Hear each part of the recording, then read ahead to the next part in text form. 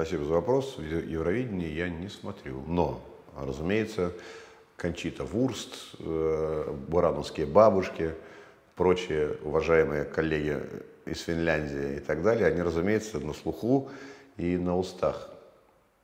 Это шоу, оно должно продолжаться. Хоть кто, вот хоть кто пусть припирается, делают, что хотят, лишь бы народ обсуждал. Вот действительно, Кончита Вурст, год они говорят.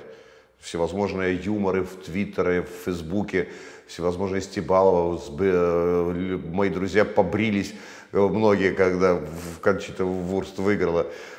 Это, это, это, наверное, должно быть такая вот такая легкая, знаете, истерия, которая совмещается с любопытством. Поэтому Евровидение Форева пусть это поет самодеятельная песня, почему бы нет. Полине Гагарине желаю удачи.